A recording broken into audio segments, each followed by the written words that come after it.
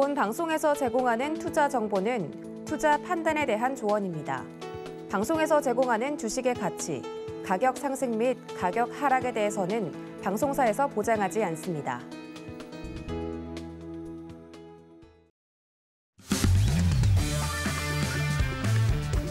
안녕하세요. 해외 선물 신세계 리턴즈의 손자입니다.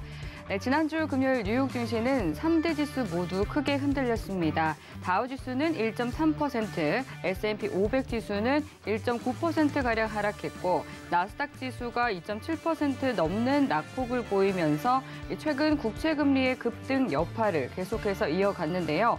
나스닥과 S&P 500 지수는 코로나19 발생 이후 최대의 주간 하락폭을 기록했습니다. 미 연준의 긴축 공포와 또 중동 지역의 지정학적 리스크 그리고 big tech 기업의 earning shock가 겹치면서 매도세가 쏟아졌는데요. 넷플릭스는 이날 하루에만 21% 넘게 급락하면서 52주 신저가를 기록했습니다. 네, 이번 주는 미증시의 최대 실적 시즌으로 또 애플과 테슬라와 같은 대형 기업들의 성적표들이 줄줄이 쏟아질 예정인데요. 최근 1.9%를 돌파했던 미 10년물 국채 금리는 1.7% 중반선까지 내려앉았습니다. 달러 인덱스는 약세를 보이면서 95선 중반에서 거래를 마쳤는데요. 골드는 1831달러 선 부근에서 하락 마감했고 이날 유가는 그간의 강한 상승세가 주춤했습니다. WTI가 소폭 내린 배럴당 85달러 선 부근에서 거래를 마감했는데요. 아, 비트코인 가격은 위험 자산이 타격을 입으면서 10% 넘게 하락하며 4만 달러를 밑돌았습니다.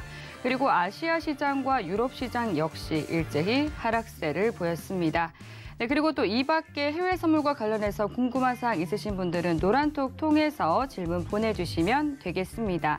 네, 노란톡 오픈 채팅방에 신세계라고 검색하시거나 QR코드 스캔하시면 입장하실 수 있는데요. 노란톡으로 질문 주신 내용들은 방송 중에 실시간으로 내용 흐름에 맞춰 질문 다뤄드릴 예정이니까요.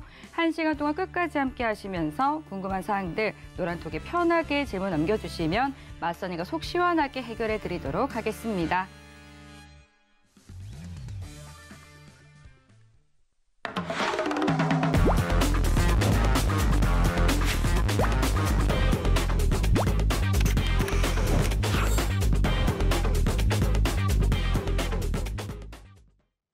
네, 그럼 본격적으로 해외선물 신세계 리턴즈 시작해 보겠습니다. 오늘은 선견 선생 마스터님과 함께합니다. 반갑습니다. 네, 안녕하세요. 네, 인사 한 말씀 해주시죠.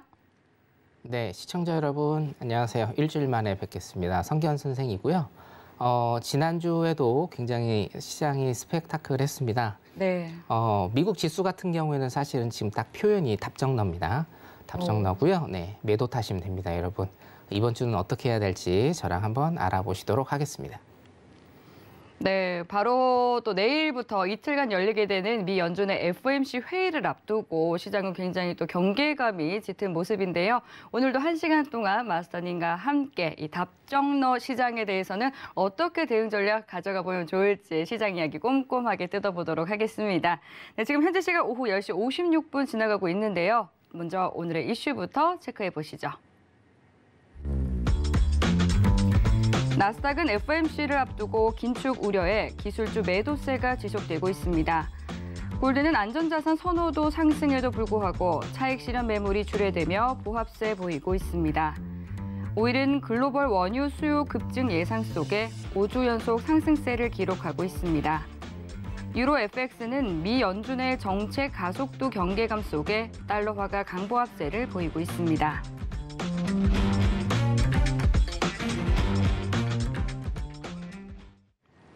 네, 나스닥부터 유로 FX까지 오늘의 이슈 짚어봤습니다. 그럼 이번에는 나스닥과 관련한 외신 기사 확인해 보겠습니다. 네, 오늘 가져온 외신 기사 제목은요. Inflation surge could push the Fed into more than four rate hikes this year, Goldman Sachs says입니다. 현지 시간 23일 CNBC 보도 기사인데요. 골드만삭스가 인플레이션 가속화로 인해서 연준은 시장이 예상하는 것보다 더욱더 공격적으로 금리 인상에 나설 수 있다라고 밝혔습니다. 시장이 0.25%포인트 금리 인상을 이미 예상하고 있는 가운데 골드만의 데이비드 메리클 분석가는 연준이 인플레이션을 잡기 위해서 올해 최소 네 차례 가량 금리 인상에 나설 것이다 라면서 인플레이션이 심해질 경우에는 추가 금리 인상도 가능하다고 봤는데요. 메리클은 이 토요일 40년 만에 최고치에 오른 물가를 잡기 위해 올해 3월, 6월, 9월, 12월에 기준금리가 인상될 수 있다라고 말했습니다. 어, 하지만 인플레이션 상황이 바뀔 때까지 FOMC 회의마다 긴축 조처를 할 수도 있다라고 예상했는데요. 5월 중에는 대차 대조표 축소가 개시될 가능성도 있다라고 밝혔습니다. 이날 시카고 상품 거래소에 따르면 트레이더들은 올해 3월 FOMC 회의에서 금리 인상이 시행될 것이다 라고 전망을 했고 85% 이상의 확률로 2022년에 4차례 이상의 금리 인상이 시행될 것으로 보고 있는데요. 다섯 차례 이상을 전망한 분석가는 60%였습니다. 일부 시장 참가자들은 연준이 이번 FOMC 회의에서 테이퍼링을 중단할 수 있다라는 의견을 내놓고 있지만 골드만삭스는 그럴 가능성은 낮다고 보고 있습니다. 어, 대차 대조표 축소가 7월에 시작돼서 매월 천억 달러씩 증가할 것으로 예상했습니다. 아, 라는 내용의 기사를 가져왔습니다. 네, 제이미 다이먼 이 JP 모건 체이스 회장은 심지어는 올해 6회에서 7회가량 금리 인상에 나설 수도 있다라는 발언을 내놓으면서 어, 좀 계속해서 좀 금리 인상의 횟수가 좀 높아지고 있는 것 같은데요. 보다 자세한 시장 이야기는 마스터님과 함께 나눠보도록 하겠습니다. 네, 마스터님, 이 시장에 대해서도 답정너 시장이다라고 굉장히 일목요연하게 표현을 해주셨는데 또 오늘 월요일이니만큼 또 지난주 시장에 대한 복귀 말씀과 함께 이번 주 시장 흐름도 한번 짚어주시죠. 네. 자, 지난주 시장 복귀하고요. 이번 주 주요 이슈, 이슈 점검 한번 같이 보도록 하겠습니다. 네. 어, 사실상 앵커님께서 뉴스에서 말씀드렸다시피 자, 이제 금리 인상을 하게 된다. 그리고 대차 대조표도 축소를 하게 된다. 자, 이 두 가지는 어, 기정사실로 일단은 여러분들이 어, 생각을 하시고 대응을 하시면 되겠는데 자, 제가 타이틀을 금리 인상의 그럼 시기가 어떻게 될 것인가? 그리고 그 범위는 어떻게 될 것인가? 대차 대조표를 축소하는데 언제가 될 것인가? 이 세 가지를 일단 좀 유념해서 보실 어, 어, 시기라고 일단은 그렇게 좀 생각을 하고요. 아까도 말씀하셨지만 제가 어, 한 3주 전이었나요? 그 세계 경제 포럼 그거 설명 드리면서 소개 드리면서 어, 어떤 경제학자는 어, 여덟 번까지 한 해 여덟 번까지 금리 인상을 해야 된다 라고 그렇게 얘기를 했다라고 제가 말씀을 드린 적이 있는데 어, 일단은 어, 많은 금융인들 그리고 유명한 금융인들 그리고 학자들이 일단 계속적으로 지금 금리 인상을 던지고 있습니다. 어, 일곱 번에서 뭐 여섯 번에서 일곱 번, 뭐네 차례 이상 계속 던지고 있는데, 자 금리 인상의 시기가 언제가 될 것이냐? 음, 지금 최근에 나온 걸로는 일단 1월부터 금리 인상을 한다라는 그런 뉴스도 있고, 어, 기정, 기정 굉장히 조금 확률이 높은 거는 3월부터죠. 예, 3월부터 어, 조금 될 가능성이 있다. 6월은 조금 늦지 않을까 싶어요. 지금 인플레이션이 지금 너무 높고, 어, 이슈들이 계속적으로 지금 터지고 있기 때문에 6월은 조금 늦지 않을까 개인적으로 그런 생각이 들고요. 한 3월, 네, 3월 정도 좀 예상을 해보겠습니다. 자, 이 범위에 대해서도 지금 굉장히 말이 많이 나오고 있는데 이 범위 같은 경우에 통상적으로 한 0.25% 정도 한 번에 올리는 게 어, 뭐 특별한 법칙이 있는 건 아닙니다. 이거는 통상적으로 0.25% 정도 올려서 시장의 충격을 어, 완화시키는 이런 방법을 쓰고 있는데 이것도 0.5% 정도 올려야 된다 라고 계속적으로 지금 주말간에 뉴스들이 나오고 있죠. 네, 그 네. 부분에 대해서는 마스터님 어떻게 생각하세요? 어, 일단은 그냥 막 던지고 있다라고 그냥 개인적으로는 그렇게 우스갯소리로 좀 생각을 하는데 네. 0.25%로 올리는 게 어, 그래도 시장의 충격을 어, 덜 받는 게 가장 예, 보편화된 예, 퍼센테이지니까요. 네. 그걸 올리는 게 가장 괜찮다라고 일단은 생각이 듭니다. 네. 어, 그 생각이 드는 이유 중에 또 하나가 뭐냐면 어, 뉴스로도 많이 보셨을 건데요. 제가 이제 부채 얘기도 굉장히 좀 많이 드리죠. 부채 같은 경우에 당연히 이자를 내야 됩니다. 어, 국가도 부- 국가 부채가 있고 어, 국가도 빚을 졌으면 이자를 줘야 되기 때문에 자 금리가 오르게 되면 물론 금리와 이자는 똑같은 건 아니지만 금리가 오르게 되면 이자율이 높아진다라고 일단 생각을 하시고 어, 이자율이 높아지면 국가가 어, 다달이 내야 되는 그 이, 이자도 굉장히 좀 높아집니다. 그렇기 때문에 이거를 확 올릴 수는 없어요. 확 올릴 수는 없기 때문에 어, 부채에 관한 관점에서 봤을 때도 일단은 굉장히 안정적으로 갈 것이다. 사실은 페드 입장을 어, 이해는 합니다. 심정적으로. 왜냐 지금 어디로 어떻게 가야 될지 갈팡질팡해요. 예, 누구나가 다 그럴 것 같고 어, 경기를 부양하자니 인플레이션이 걱정이고요. 낮추자니 예, 또 경제가 걱정, 걱정입니다. 어, 그렇기 때문에 어디로 가야 될지 어, 어떻게 해야 될지 굉장히 어, 골머리를 조금 썩고 있는 그런 현상이다라고 일단은 보시면 될 것 같습니다.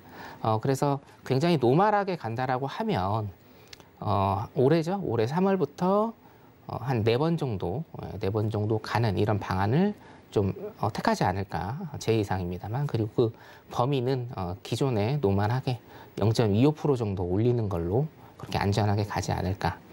자 대차 대조표 축소 얘기도 일단은 나오는데 어, 대차 대조표 축소에 관해서 제가 조금 설명을 드릴게요. 어, 이거 이제 모르시는 분들이 노란톡에 조금 질문을 올리신 적이 있어요. 자 대차 대조표는요 어, 이렇게 보시면 됩니다. 어, 우리 재무제표에서 대차 대조표 딱 보시면 어, 자산은 뭐죠, 여러분? 자산은 어, 자본 플러스 부채입니다. 그렇죠? 예, 그래서 내가 예를 들어서 10억짜리 부동산이 있다라고 하면 10억짜리 부동산을 가지고 있는데 거기에 내 돈은 5억이 들어가 있고 은행에서 대출을 5억 받았다라고 하면 내 자산은 10억이고요. 자본은 5억, 어, 부채는 5억. 이렇게 해서 10억이 어, 차변과 대변이 다 맞춰지는 요게 이제 대차 대조표인데 요거를 축소를 한다라는 건 뭐죠? 어, 지금 페드에서는 계속적으로 시장에 돈을 공급하기 위해서 어, 채권을 발행을 하고 그 채권을 자기가 사면서 시장에 계속적으로 돈을 뿌리고 있었죠. 지금도 사실은 돈을 계속 뿌리고 있는 거고요. 어, 줄였지만. 그래서 이 대차 대조표를 축소한다라는 거는 자산을 축소한다라는 거죠. 어, 페드가 가지고 있는 그 채권을 어, 뭐 채권뿐만은 아니지만 그 채권을 시장에 어, 팝니다. 시장에 팔게 되면 어, 그 채권을 사는 사람은 페드에 돈을 주게 되고 페드는 그 사람에게 어, 채권을 주게 됩니다. 그렇게 해서 시장에 있는 돈을 어, 걷어들이겠다. 이게 바로 대차 대조표 축소라는 개념으로 여러분들이 이해를 하시면 될 것 같습니다. 어, 대차 대조표 축소 같은 경우에도 우리 어, 파월 의장 같은 경우에는 뭐 열말 정도 얘기를 했는데 지금 6월에 한다라는 얘기도 나오고 있죠. 어, 사실은 지금 이렇게 시장이 급락을 하는 것은 대차 대조표 축소 이 얘기가 1월 초에 나오면서 굉장한 급락을 지금 줬다라고 이렇게 생각이 들고요. 자 정리를 하시면 금리 인상 되는 것 그리고 대차 대조표 축소 되는 것 이 모든 것들이 긴축 정책입니다. 긴축 정책으로 가는 것은 일단은 어, 우리 모두가 알고 있고 어, 우리 모두가 대응을 해야 되는 그런 영역이다. 자 그러면 어, 이번 주 FOMC가 있는데 여기에서 무슨 얘기가 나올 것인가? 어, 일단은 금리 인상의 시기나 범위 이런 게 나오면 시장은 더 큰 충격을 일단 받을 수가 있다라고 여러분들이 어, 보시면 되겠습니다. 제가 아까 답정나라고 한 건 뭐냐면 음, 물론 어, 제가 조금 이따가 뒤에 어, 말씀드릴 거지만 어, 뒤에 그냥 가볼까요? 자 PPT 예, PPT 일단은 보시면 1월 27일 목요일 날요. 목요일 날 어, 굉장히 중요한 것들이 어, 많이 모여 있습니다. FOMC 기자회견이 목요일 우리나라 시간입니다. 우리나라 시간 새벽 4시 반에 있고요.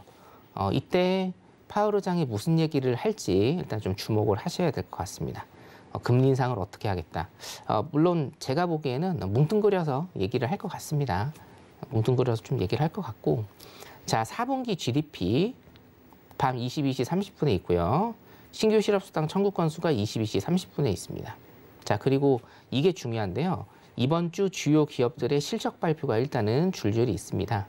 어, 우리가 MIT라고 부르는 기업들, 마이크로소프트, 인텔, 테슬라, 어, 이 기업들이 실적 발표를 하는데 전분기에도 실적이 굉장히 좋아서 어, 시장이 10월, 11월 날 어, 급등을 하는 단계적으로 급등을 하는 이런 모습을 어, 보여서 물론 이제 우리는 해외 선물이지만 어, 실적이 어, 좋다라고 평가가 들면 지금 은행들 실적은 그렇게 좋지는 않았어요.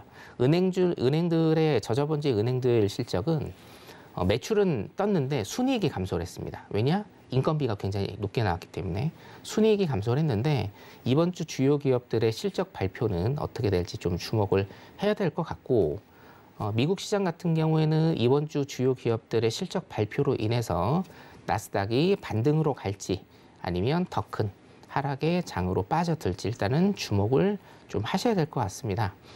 음, 일단은 저번 주와 이번 주를 좀 어, 말씀을 드리면 시장은 시장은 지금 불확실성에 만연해 있다라고 일단 여러분들이 그렇게 이해를 하시면 될 것 같습니다. 어, 긴축 정책으로 인해서 경제가 활성화가 안 되는 이런 정책들이 나오는데 그 강도가 그리고 그 어, 시점이 어느냐 여기에 일단은 촉각을 두시면 될 것 같고요. 어, 아마 FOMC 어, 목요일 날 새벽 4시 반에 있습니다. 어, 목요일 날 일단은 좀 지켜보시고 목요일 날 새벽 4시 반에 있기 때문에 제가 어, 노란톡에 아침에 7시에 올려드립니다. 그래서 노란톡 들어오시면 가장 빠르게 FOMC가 어떤 얘기를 했는지 어, 앞으로 정책이 어떻게 될지 가장 빠르게 제가 전달을 해드릴 테니까 어, 밑에 보이시는 노란톡으로 들어오시면 되겠습니다. 자, 어, PPT 보시면 어, 나스닥 선물부터 한번 어, 진단을 좀 해보도록 하겠습니다. 자, PPT 나스닥 선물 좀 보시겠습니다. 오늘 오후장이고요. 어, 제가 실시간 차트도 지금 보여드리도록 할게요. 자, 굉장히 오늘 아침에는 중요한 날이 될 것이다라고 제가 어저께 주말 특강에서 말씀을 드렸죠. 자, 이유는 뭐냐면 여기 보시다시피 어, 금요일 밤에 금요일 밤에 나스닥이 굉장히 많이 또 떨어졌습니다. 어, 나스닥이 지금 떨어지는 패턴이 있는데요. 여기 제가 타이틀에 좀 써놨는데 장 막판 한두 시간 전에 투매를 하고 있습니다.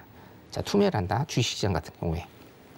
자, 이게 무슨 얘기냐면 우리가 우리가 어떤 어, 굉장히 불안한 심리가 주식 시장에서 불안한 심리가 있다라고 하면 자, 이거를 나는 어떻게 해요? 가지고 있어요, 일단. 일단 주식을 가지고 있는데 어, 장 마감하기 한 1시간 정도에 이거를 매도를 다 합니다. 왜냐? 다음 날 또 이 주식이나 아니면 이 포지션이 어, 하락으로 가는 하락으로 가는 어, 이런 현상이 나올 수가 있기 때문에 내가 불안한 거예요. 이거를 홀딩하기가. 그래서 장 막판 1시간에서 어, 진짜로 장 막판 한 5분 10분 전까지 투매 현상이 벌어집니다. 이 투매 현상이 가장 잘 나타내는 게 이 주식 시장이거든요. 특히나 주식 시장 어, 금요일이라든지 아니면 굉장히 불안한 어떤 이슈가 있다라고 하면 이걸 홀딩을 하지 않습니다. 홀딩을 하지 않고 선물에서는 이제 overnight이라고 하죠. overnight을 하지 않고 시장이 끝나기 전에 그냥 다 팔아버리는 겁니다. 이게 전형적인 하락장에서의 패턴인데 나스닥 같은 경우에는 이런 패턴이 지금 계속적으로 제가 보입니다. 그래서 저 같은 경우에도 지금 시간을 조금 늘렸거든요. 장 보는 시간을 왜냐하면 1시 내지 2시에 제가 장 마감하고 정리를 하고 어, 잡니다. 그럼 그 다음 날에 양봉이 음봉이 됐고요. 조그마했던 음봉이 굉장히 큰 음봉으로 바뀌어 있습니다. 이게 무슨 얘기냐? 어, 우리나라 시간으로 3시, 4시, 5시에 투매 현상이 벌어지기 때문에 어, 여러분들 그리고 제가 잠을 잘 때 굉장히 많은 하락을 어, 겪으실 수 있다는 겁니다. 자, 그래서 제가 오늘 나스닥 선물하고 국내 선물을 비교해서 일단 좀 설명을 드리면 자, 금요일 날, 금요일 날 굉장히 어, 중요한 장이었습니다. 이유가 뭐냐면 금요일 날 나스닥이 여기 일봉 보이시면요. 일봉 보이시면 굉장히 좀 많이 떨어졌죠. 또 많이 떨어졌습니다. 자, 그런데 이때 국내 선물 어, 지수를 볼게요. 자, 금요일 날 장 마감한 국내 선물 지수는 376포인트였습니다, 여러분. 자, 제가 4개월, 거의 만 4개월 동안 계속적으로 강조를 드리는 라인이죠. 이 어, 주황색 박스장 380포인트와 400포인트에서 국내 선물은 이 박스에 갇혀 있다. 무조건 추세를 보시기 위해서는 이 380포인트와 400포인트를 넘는 넘는 어떤 추세가 나왔을 때 그쪽으로 일단은 포지션을 정하셔야 된다라고 제가 4개월 동안 누누이 강조를 드렸는데 자 금요일 날 낮에 금, 금요일 날 낮에 우리 시장은 376포인트로 마감을 했습니다. 자 그런데 금요일 날 새벽에 아, 토요일 새벽이죠. 토요일 새벽에 나스닥 시장은요. 어, 제가 그 14,000 아, 15,376, 아, 14,000, 14,376라인까지 일단 내려갈 가능성이 있다라고 제가 금요일 날 새, 금요일 토요일 새벽이죠. 죄송합니다. 토요일 새벽에 말씀을 드렸거든요. 자, 그게 거의 400포인트까지 가는 예, 375포인트가 아니라 400포인트까지 가서 마감을 했다는 얘기예요. 자, 그러면 월요일 날 우리나라 시장이 시작을 할 때, 자, 보세요. 금요일 날, 금요일 날 우리나라 시장은 376포인트에서 마감을 했어요. 그리고 금요일을 넘어선 토요일 날 새벽에 나스닥 시장은 뭐예요? 굉장히 큰 하락을 했어요. 자, 그러면 월요일 날 우리나라 시장은 개파락을 할 겁니다. 이해되시죠? 376포인트에서 마감한 곳에서 개파락을 할 거예요. 보통 개파락을 어느 정도 하냐면 3포인트 내지 한 4포인트 정도 평균적으로 개파락을 합니다. 자, 4포인트 개파락을 한다라고 하면 372포인트, 5포인트 정도 개파락 한다라고 하면 371포인트입니다. 자, 371, 2포인트에서 개파락 후에 출발을 한다. 자, 그런데 여러분 여기 보세요.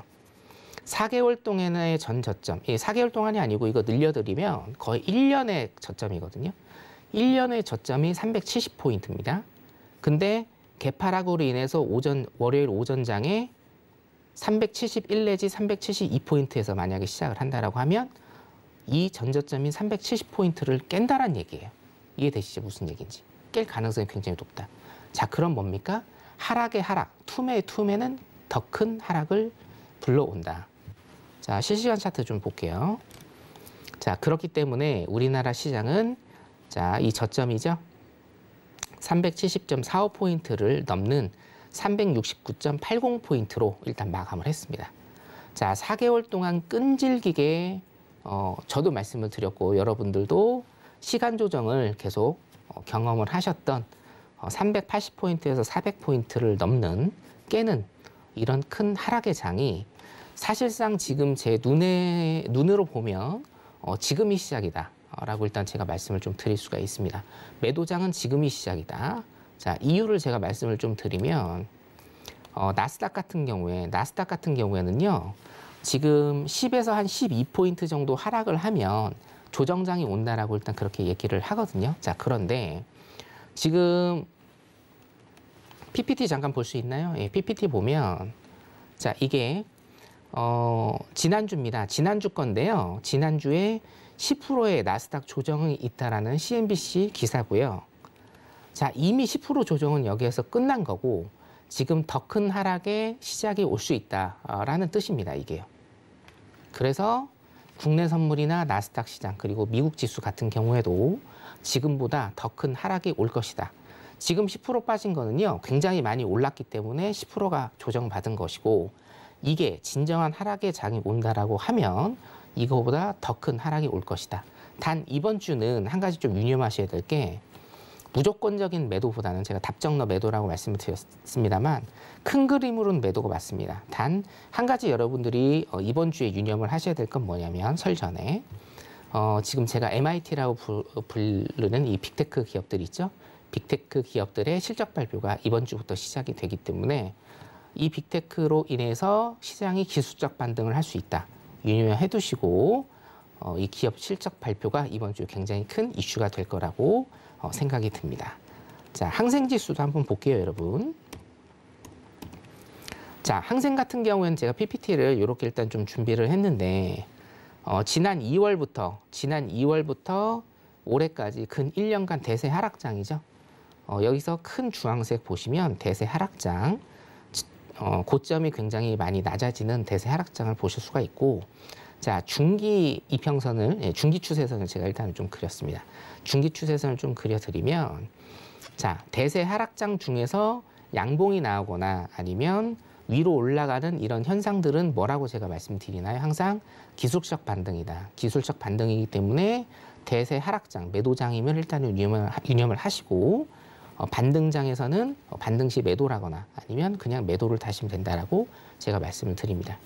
어, 큰 추세선은 1년간의 어, 고점에서의 큰 추세선. 자, 그러면 이게 일단은 어, 2만 6천 선까지는 일단은 터치를 할 가능성이 있다. 첫 번째 시나리오. 자, 두 번째 중기 추세선의 시나리오를 보시면 중계 추세선은 어, 약한 2만 4,600선입니다. 2만 4,600선까지 일단은 고점이 터치를 할 수 있다. 어, 이런 어, 전략 분석이 나오고요. 1번, 2번, 3번 어, 회색, 노란 어, 동그라미 보시다시피 기술적 분석이 많- 아, 기술적 반등이 일단은 나온다. 자, 대세 매도장에서의 기술적 반등이 일단 나온다라고 하면 이 주황색 어, 추세선 있죠? 주황색 추세선 밑에서 일단 어, 가격이 형성되는 이런 모습을 보일 수가 있다라는 겁니다. 그렇기 때문에 어, 여러분들 매매하실 때도 제가 이거 오늘 노란톡에 올려드렸거든요. 어, 이 어, 항생 차트 참고하시고 어, 이 항생 차트의 끝이요. 24,600포인트입니다. 24,600포인트 일단 유념하시면서 매매를 하시면 될 것 같습니다. 네, 이 항생 관련해서도 노란톡 질문이 들어왔는데요. 아, 그런가요? 네. 예, 박춘배님께서 항생은 미장 하락에 비해서 떨어지는 폭이 작은데 왜 그럴까요? 하고 질문 보내주셨네요. 아, 그거 같은 경우에는 제가 어, 화요일 날 중국 시장 점검을 해드리잖아요. 내일도 해드릴 건데 네네. 중국 같은 경우에는 경제가 굉장히 안 좋은 안 좋은 상황에서 네. 지표들이 굉장히 안 좋은 상황에서 그쵸. 또 부동산 이슈도 많았고. 예. 경기를 부양하기 위해서 돈을 푸는 그런 시점이죠. 금리 그렇기 때문에, 인하도 계속 하고 있고요. 네네. 그렇기 때문에 단기적인 기술적 반등들이 이렇게 차트에 보이, 보시다시피 이렇게 나오는 겁니다. 네. 하지만 어, 가장 중요한 것은 뭐다? 항생 중국장 또한 어, 네. 대세 하락장이다. 일단 아. 이렇게 보시면 될 것 같습니다. 네, 이제 글로벌 증시가 뭐 대체적으로 좀 하락세를 보이고 있다 이렇게 보면 되겠네요. 네네네. 예, 좋습니다. 그럼 이렇게 또 이 질문에 대한 답- 답변을 하도록 하고 이어서 또 다음 어떤 항생 다음은 어떤 상품 준비해 주셨을까요? 음, 어떤 지금 일단? 골드 오일을 전부 네. 다볼 건데요. 예, 한번 좋습니다. 보도록 하겠습니다. 네. 자, 골드 선물 좀 짧게 볼게요. 골드 같은 경우에는 어, 지금 매수장이죠. 예, 매수장이고요. 자, 기술적 분석으로 일단 좀 봐드리면 사실 골드는 기본적 분석으로 볼 수 있는 부분이 그렇게 많지는 않습니다. 왜냐? 어, 지금 나스닥이 굉장히 많이 하락을 함에도 불구하고 골드는 어, 올랐다 내렸다 어, 이렇게 번갈아 가면서 일단 하고 있기 때문에 굉장히 좀 어려운 시장인데 자 골드 같은 경우에는 기술적으로 일단은 좀 많이 보셔야 돼요. 자 1번 캔 예, 1번 포지션에서 어, 지금 5일선이 20일선 위로 타는 이 골든 크로스가 나왔습니다. 골든 크로스 다음에는 뭐죠, 여러분? 항상 데드 크로스. 데드 크로스 다음에는 골든 크로스. 수렴 발산, 수렴 발산을 반복하는 게 차트의 속성인데 자, 2번 포지션 여기 보시면 자, 데드 크로스가 나와야 되는 지점에서 일단은 시장이 지탱을 하면서 다시 골든 크로스로 가는 이런 모습을 어, 보이고 있습니다. 그 골드의 특성 중에 하나가 쌍봉과 쓰리봉을 만드는 어, 이런 모습을 자주 보이고 있는데요. 여기에서도 쓰리봉 만든 다음에 하락장, 그렇죠? 자, 그러면 이 패턴에서도 쌍봉을 어, 만들 그럴 가능성이 굉장히 높다. 1880선까지 쌍봉을 만들 가능성이 굉장히 높다. 이렇게 일단 여러분들이 보시면 될 것 같습니다. 오일 같은 경우에는 짧게 제가 실시간 차트 보시면서 좀 설명을 어, 드리도록 하겠습니다. 자, 오일 같은 경우에도 제가 쓰리봉, 쌍봉 말씀드렸죠. 자, 쓰리봉이 나왔을 때는 옵션이 두 가지다. 더 큰 상승 혹은 이 전저점을 이 전저점을 어, 상회하는 어, 더 큰 하락이 나올 수가 있다. 일단은 뭐예요, 여러분? 쌍봉, 어, 쓰리봉에서 전고점을 뚫었습니다. 전고점을 뚫었기 때문에 여기에서 조정을 조금 받은 다음에 어, 여러분들 그토록 원하시는 90달러 선을 어, 일단 어, 한번 그 쳐보는 어, 이런 흐름이 나올 가능성이 어, 굉장히 높다. 근데 이 90달러라는 것도 어, 상징성이 굉장히 크다라고 제가 항상 말씀을 드리잖아요. 그래서 어, 지금 뭐 뉴스 보시면 알겠지만 러시아가 우크라이나를 한번 때릴 것 같습니다. 어, 러시아가 우크라이나를 국지전으로라도 한번 좀 때리게 되면 어, 굉장히 좀 큰 상승의 폭이 나오지 않을까. 그리고 이게 어, 차트나 아니면 선물이 굉장히 희한한 것들이 수요일 날 수요일 날 또 재고 지표가 있죠. 수요일 날 재고 지표하고 맞물려서 우크라이나와 러시아가 어, 한번 국지전이라도 한다라고 하면 수요일 날 재고 지표 타면서 90달러를 상회하는 이런 모습을 어, 올릴 수도 있거든요. 어, 지금 어, 저희 밑에 나오고 있네요. 러, 우크라이나 러시아 전쟁 임박. 대사관 직원 가족 떠나라. 자, 항상 우리는 어, 뉴스에 일단은 주목을 해야 됩니다. 기술적 분석 차트로 일단은 예견을 하고 어떤 뉴스로 인해서 이게 하락을 하고 이게 상승을 하게 되는 어, 이런 모습을 항상 보이고 있거든요. 그래서 국지전이라도 발생을 하면 90달러를 상회하는 어, 수요일이 될 가능성이 좀 높아 보입니다. 감각적으로요. 왜냐하면 수요일 날 재고 지표가 있기 때문에 수요일 날 한번 어, 보시면 아마 어, 5일 매매하시는데 아마 재미를 느끼실 수도 있을 것 같습니다. 90달러 한번 치는지 저도 지켜보도록 하겠습니다. 5일 여기까지입니다. 네, 좋습니다. 이렇게 또 어, 주요 상품 시세 계속해서 살펴봐 주셨고요. 어, 계속 흐- 흐름들 짚어봐 주셨는데, 음, 그러면은 또 들어온 질문들 만나보도록 하겠습니다. 신이시어님께서 이 나스닥이 장중에는 1% 가까이 상승을 하다가 6시 이후에 갑자기 하락 반전, 지금은 또 폭락을 하는데 원인이 무엇일까요? 라고 아, 제가 말씀드린. 대로 그겁니다. 아, 우리가 어, 주식이나 아니면 포지션을 가지고 있다가 네. 장 막판에 그냥 던지는 겁니다. 어, 요즘 변동성이 너무 큰 것 같거든요. 네네. 홀딩을 하고 있다가 네. 너무 불안하니까 단기로라도 아, 어, 장기 보유하시는 분들은 원래 장기를 보유하시는 분들이고 네. 자 단기적으로 보유하시는 분들 요즘에는 어, 스윙에 대한 개념도 사실은 조금 사라졌어요. 스윙은 예. 뭐 예를 들면 3일에서 뭐 일주일 한 달 한 달 정도 이렇게 보유하시는 그런 매매 기법인데 스윙의 개념도 일단은 조금 사라진 것 같고 단기적으로 그날 사서 그날 그냥 청산을 해버리는 거죠. 음. 우리가 흔히 얘기하는 이제 단타 매매 그런 건데요. 그래서 내가 홀딩을 하고 오버나잇을 하기에 굉장히 불안한 겁니다. 그래서 그냥 어, 막판에 장, 어, 장 막판에 어, 던져버리는 아까 제가 설명드린 이런 현상들이 계속적으로 어, 나타나고 있다 라고 일단은 좀 보시면 되겠고요. 네. 그 노란톡에 올라온 질문 제가 좀 하나 뽑아도 될까요? 어, 네. 어떤? 질문일까요? 네네. 조막손님께서 네. 굉장히 오랜만에 질문을 좀 하나 주셨거든요. 네. 네, 조막손님 질문을 좀 하나 어, 제가 받도록 하겠습니다. 네. 자, 이것도 원래는 제가 오늘 좀 설명을 드리려던 건데 제가 읽어드릴게요.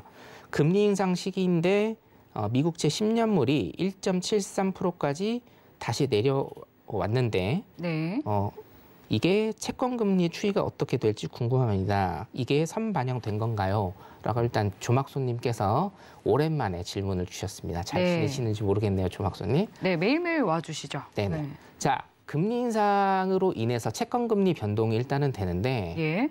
자, 최근에 한 2, 3일 정도 예, 저번 주 목요일부터의 이 채권 금리 추이는 좀 다릅니다.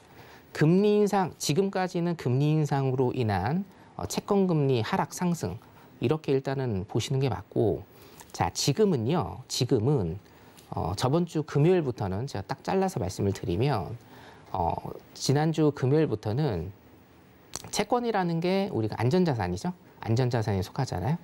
자, 나스닥이 지금 너무 많이 떨어지고 나스닥이 너무 많이 떨어지고 위험자산에 대한 신호가 너무 많이 높아지니까 기술주 중심의 신호가 어, 지금 빨간불이 켜지니까 안전자산에 대한 선호도 수요가 높아진 겁니다. 채권의 수요가 높아진 거예요. 그러면 채권의 수요가 높아지니까 채권 가격이 뛰겠죠. 채권 가격이 뛰면 채권의 수익률과 금리는 어떻게 됩니까? 낮아집니다. 그런 식으로 일단 지금 보시는 게 어, 맞을 것 같습니다. 예, 채권의 수급이나 아니면 채권 경매할 때 그 수급에 관해서 제가 이제 나중에 설명을 한번 드릴 건데 그거를 보면 알 수가 있거든요. 그래서 그 전에는 어, 뭐 얼마 안 됐습니다만 어, 금리 인상 여파로 인한 금리 인상 여파로 인한 어, 채권 금리의 변동 지금은 어, 안전자산에 의한 수요 급등에 의한 채권 금리의 변동 이렇게 정리를 하시면 될 것 같습니다. 조막손님. 네, 감사합니다. 네. 그리고 또 어, 한 가지 더 질문을 다뤄보면 좋을 것 같습니다. 마루님께서 보내주신 질문인데요. 이번 주 애플과 테슬라와 같은 또 이런 또 빅테크 그리고 대형 기업들의 실적 발표가 예정되어 있죠. 이런 실적과 가이던스가 잘 나오면 나스닥이 반등한 후에 기세를 이어갈 수 있을까요? 아니면 잠깐 반짝이게 될까요? 설 연휴 기간 동안 불안할 것 같아서 나스닥 접근하기 두렵네요. 이렇게 말씀해 주시네요. 어, 지금까지 받았던 질문 중에 제일 어려운 질문인데요. 그렇죠. 네. 근데 정말 우리나라 같은 경우는 설 연휴라는 또 긴 시간 동안 연휴를 앞두고 있기 때문에 어, 사실 어떻게 대응 전략 가져가야 될지 고민되는 분들 많으실 것 같거든요. 네네. 근데 어차피 여러분들 어, 이거를 일단은 좀 생각을 하셔야 돼요. 네. 지금 여기 우리 어, 마루님이죠. 마루님께서 말씀하신 애플, 예. 테슬라 어, 이런 종목 그리고 뭐 예를 들면 제가 아까 그 MIT 설명드린 네. 그 마이크로소프트 예. 그런 것들은 일단은 단기적으로 보시면 안 됩니다. 당연히. 음. 그런 종목들은 단기적으로 보시는 종목이 절대로 아니기 때문에 두 가지 관점에서 제가 좀 설명을 드릴게요. 자, 이런 종목은 예를 들면 마이크로소프트 같은 경우에는 우리가 어떤 식으로 평가를 하고 있느냐. 어, 삼성전자랑 어, 비슷하게 평가를 하고 있어요. 무슨 얘기냐? 미국이 쓰러지지 않는 이상은 어, 마이크로소프트도 쓰러지지 않는다. 그죠? 예. 어, 우리나라 어, 삼성이 쓰러지지 않는 한 뭐 우리나라도 쓰러지지 않는다. 이런 개념으로 일단은 그거를 평가를 하시면 될 것 같습니다. 그래서 혹시 마루님께서 어, 이런 종목을 갖고 계신다라고 하면 그냥 그대로 일단 홀딩 하시는 것도 괜찮아 보이고 자 일단 얘네들이 실적 발표를 했을 때 실적이 좋게 나온다. 어, 실적이 나쁘게 나온다라고 하면은 당연히 더 큰 하락이 있겠고 실적이 좋게 나온다라고 하면 일단은 단기적으로 반등을 할 수는 있어요. 단기적으로 발수- 반등을 할 수는 있는데 우리가 이제 어, 소위 얘기해서 지수 이기는 종목들은 미국에서도 없습니다, 여러분. 예, 지수를 이기는 종목들 그리고 그 분위기를 이기는 종목들은 없거든요. 지금 나스닥 차트를 딱 보셔도 나스닥 차트 딱 보세요. 딱 보셔도 굉장히 일봉상 나스닥 차트 굉장히 많은 하락 그리고 전저점도 뚫어버리는 굉장히 많은 하락을 보여주고 있고 가장 중요한 거 제가 말씀드렸다시피 장 막판에 그냥 다 던져버리죠. 소위 얘기해서 장 막판에 다 던져버립니다. 홀딩을 안 한다는 얘기예요. 즉, 그렇기 때문에 일단 단기적인 기술적 반등으로 보시는 게 맞다라고 일단 제가 평가를 해드리겠습니다. 네, 여기까지입니다. 네, 좋습니다. 어, 사실 이제 미증시가 이렇게 급락세가 두드러지게 나오다 보니까 우리 국내 증시 굉장히 맥을 못 추리고 있거든요. 어, 국내 증시는 좀 어떻게 대응해 보면 좋을까요? 아 국내 선물 말씀하시나요? 아니면 국내 선물도 그렇고 야, 뭐 국내 그래, 주식도 네. 그렇고. 네, 어, 예, 굉장히 좋은 상황이죠. 네. 어, 사실은 국내 선물도 아침에 아침에 수익이 났고요. 어, 국내 선물조차도 지금 일단 답정납니다. 일단 매도 포지션 보시면 될 것 같고, 네. 자 국내 선물 같은 경우에는 새벽장을 보셔야 돼요. 예, 나스닥 새벽장, 미국 음. 시장 새벽장을 항상 제가 보시라. 그리고 8시에 8시에 어, 해외 선물 시작하니까 아침 8시, 8시에서 9시 사이에 반등을 하는지 그거를 좀 지켜보시라고 제가 매매 팁을 어, 노란톡에서도 제가 매일 어, 올려드리고 있고요. 어, 국내 주식 같은 경우에도 어, 제가 말씀드렸죠. 국내 선물 360포인트입니다.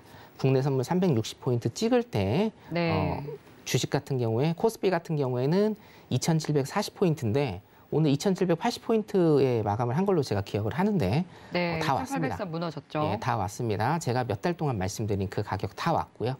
어, 여러분들 선물하시는 분은 예, 웃으셔도 됩니다. 네, 네, 답정납니다. 알겠습니다. 또 지금 현재 뉴욕 증시가 개장을 했습니다. 개장 상황 먼저 살펴보고 오겠습니다.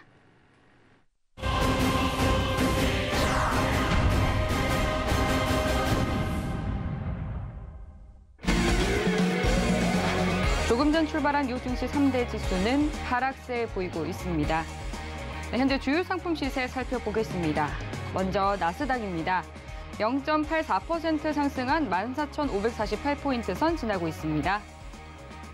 이어서 골드입니다. 0.33% 오른 1,838달러 선 지나고 있습니다. 이어서 오일입니다. 2.04% 내린 배럴당 83달러 선 지나고 있습니다. 마지막으로 유로입니다. 0.39% 하락한 1.130달러 선 지나고 있습니다.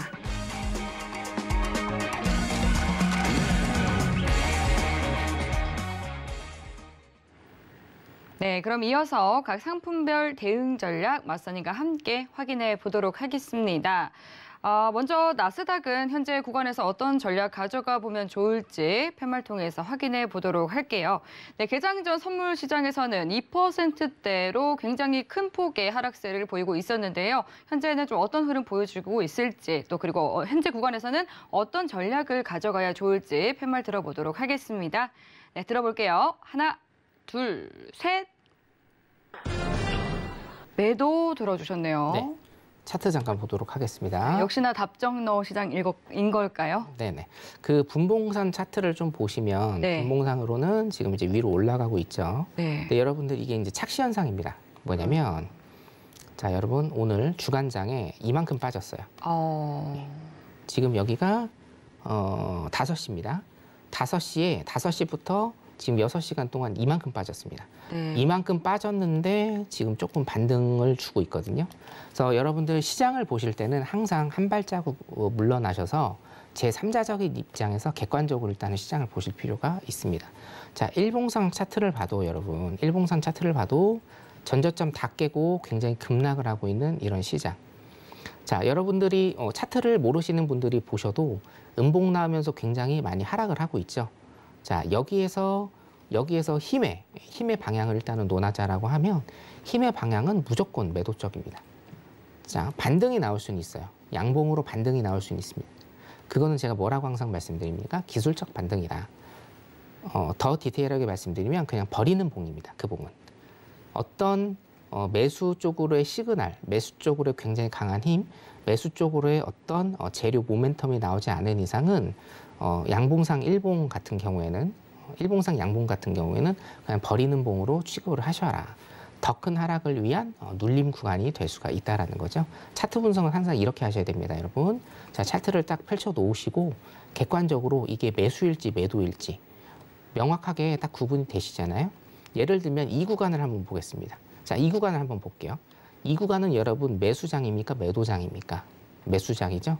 여러분들이 보는 어, 눈과 어, 제가 보는 눈은 같습니다. 매수장, 매도장입니다. 그리고 지금 이 장은 매수장입니까? 매도장입니까? 여러분. 이 구간은요. 매수장도 아니고 매도장도 아닙니다. 관망하시는 장입니다. 물론 단기적으로 들어가실 수 있는 포지션에 있겠죠. 자, 차트는 항상 어, 한 발 물러서서 제 3자적인 객관적인 입장에서 일단은 보셔야 된다. 자, 매도장이에요. 매도장이기 때문에 제가 매도를 들은 거고, 자, 분봉상 보시면, 분봉상으로도 짧게 한번 볼까요? 자, 분봉상 보시면, 이거는 지금 매수 쪽으로 일단은 어, 소위 얘기해서 전문용어로 지금 튕기고 있죠.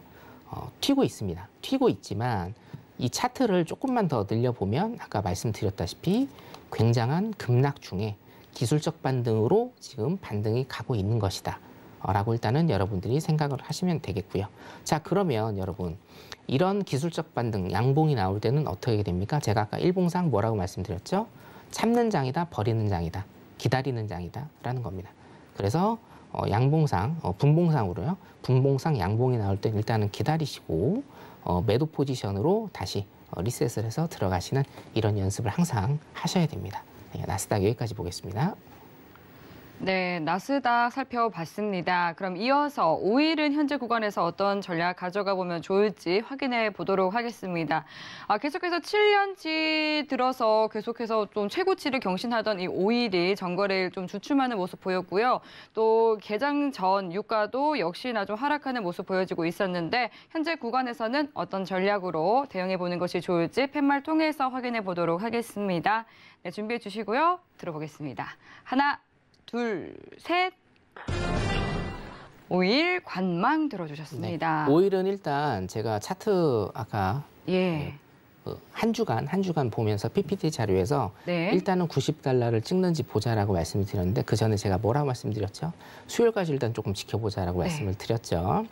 자 차트 잠깐 보시면 자 일봉상으로 보시면 21선 일단은 밑에 있기 때문에 여기까지 떨어질 가능성도 있어요. 80달러 초반까지 오늘 제가 노란톡에서 말씀을 드렸습니다. 시나리오 두 가지 일단은 말씀을 드렸고 자 어. 5일 같은 경우에는요 지정학적 리스크만 보시면 됩니다. 아, 여기까지는 자 여기 볼게요. 작년 11월, 12월까지는 뭐만 보시면 됐냐면 나스닥 따라가는 것만 보시면 됐는데 지금 어, 작년 12월부터 반등이 크게 나온 이유는 뭐냐? 어, 우크라이나, 러시아와의 지정학적 리스크로 인해서 오일이 지금 V자 급등을 하고 있는 겁니다. 자 그러면 어, 여러분들 쉽게 보실 수 있죠. 어, 지금 아까도 하단으로 지금 나가고 있었는데 어, 러시아와 우크라이나가 지금 굉장히 어, 긴장 속에서 지금 대치를 하고 있는 상황이다. 자 여기에서 국지전이라도 발생을 하면 어떻게 됩니까? 위로 뻗을 것이고 물론 이제 어떤 휩소나 이런 거를 줄 수는 있습니다만 큰 그림으로 봤을 때는 위로 뻗을 수가 있고 자 만약에 지금 이제 한 가지 조금 어, 걸림돌이라고 하기는 좀 그렇고요. 어, 한 가지 가능성이 있는 게 뭐냐면 어, 지금 미국에서요. 어, 미국에서 지금 전쟁을 하지 말라라고 굉장한 압력을 넣고 있죠. 그렇기 때문에 어, 만약에 러시아와 우크라이나가 화해를, 화해를 한다라고 하면 어, 단기적으로 하락이 되는 단기적으로 하락은 되지만 굉장히 빠르게 될 겁니다. 어, 차익 실현 매물이 굉- 굉장히 좀 많이 쏟아지기 때문에 그래서 이 두 가지 시나리오를 항상 염두를 해두셔야 되고 제가 보기에는 5일 재고 지표 지음해서 굉장히 뉴스나 이런 것들이 맞물리는 것들이 많거든요. 수요일 정도 해서 재고 지표 보시고 어, 그때 포지션 자- 어, 정하셔서 어, 가시는 게 일단은 좋을 것 같습니다. 한 이틀 정도만 한 이틀 정도만 참으시고요 매매하시면 될 것 같습니다. 여기까지입니다.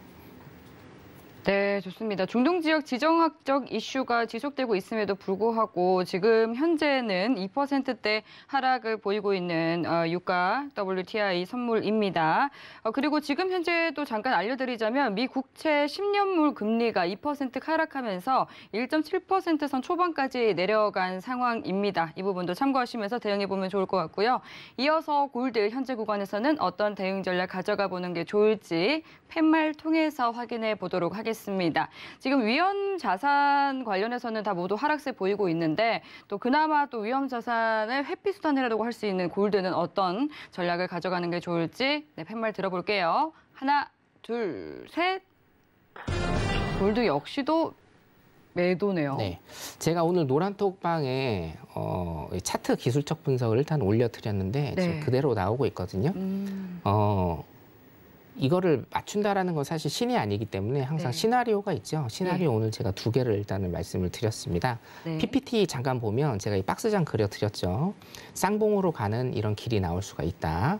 자, 어, 일단 첫 번째 시나리오는 쌍봉으로 가는 길입니다. 1880 라인 아까 제가 PPT 자료에서 이번 주간장 어, 설명을 드렸죠. 1880 라인까지 가는 요게 하나가 있고 자, 한 가지 시나리오를 제가 노란톡에 제가 오늘 어, 기술적 분석으로 띄워드렸습니다. 어, 오늘 이걸 이제 방송에서 말씀을 드리게 됐네요. 자, 골드라는 것은 제가 어, 몇 달 동안 지금 방송을 하면서 말씀을 드리는데 이 패턴이라는 게 정해져 있거든요. 골드는. 음, 자, 이 큰 양봉이 나왔습니다. 큰 양봉이 나왔다라는 건 뭐예요? 매수의 힘이 센데 골드 같은 경우에는 어, 가늠을 할 수가 없는 이런 종목이다라고 제가 말씀을 드리죠. 그래서 뭡니까? 눈에 보이는 대로 들어가시고 눈에 보이는 대로 포지션을 정하셔야 된다라고 제가 계속적으로 강조를 드립니다. 큰 양봉이 나왔기 때문에 위쪽으로 더 가는 쌍봉으로 가는 시나리오 1 그리고 시나리오 2는 뭐냐면 이 양봉을 다 메우는 일봉상 가격 하락이 나올 수 있다라는 겁니다. 이해되시죠? 양봉이 지금 크게 나왔어요. 이것도 마찬가지입니다, 여러분. 자, 계속 올랐기 때문에 이 가격들을 다 메우는 이런 모습들이 나오는 거고, 자, 여기에서도 뭐예요? 장대 음봉이 나왔는데 이 장대 음봉을 양봉 두 개로 다 메워버렸죠. 자, 장대 음봉을 양봉 세 개로 다 메워버렸습니다. 똑같습니다, 여러분. 장대 양봉이 나왔기 때문에 음봉이 이 가격대를 전부 다 어, 먹어버릴 수 있습니다. 그래서 가격 하락이 나올 수가 있다. 자, 한 가지 전제 조건을 일단 말씀을 드리면 어, 전일 전저점입니다. 전일 전저점 1828.4달러네요. 1824.28.4달러를 돌파를 해서 이게 저항을 받는다라고 하면 일단은 첫 번째로는 21선 1817달러입니다. 1817달러까지 가는 음봉이 형성될 수 있다. 이게 시나리오 2입니다. 근데 지금 제가 여러분들이 쭉쭉 보시면 어, 시나리오 두 번째로 갈 가능성이 좀 많아 보이죠? 첫 번째 전제, 어, 전제 조건은 뭐였습니까? 전저점, 전저점을 깨고 저항받으면 여기에서 어, 음봉이 뭐 한 개 내지 두 개 정도 나와서 가격 하락 매도 포지션으로 가실 수 있다. 이렇게 여러분들이 어, 두 가지 시나리오를 보시면서 실시간 차트 보시고 판단하시면 될 것 같습니다. 여기까지입니다. 네, 좋습니다. 여기까지 또 골드 살펴봤습니다. 네, 아직까지 남아있는 궁금증 있으시면 노란톡 통해서 질문 보내주시면 되겠습니다. 샵 0082번으로 신세계라고 세 글자 적어서 문자 보내주시거나 하단으로 나가고 있는 QR코드 스캔해서 입장해 주시면 되겠습니다.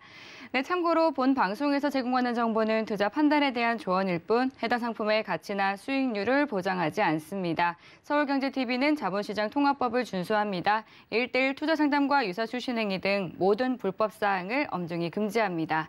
오늘 저희가 준비한 내용은 여기까지입니다. 시청해주신 여러분 고맙습니다.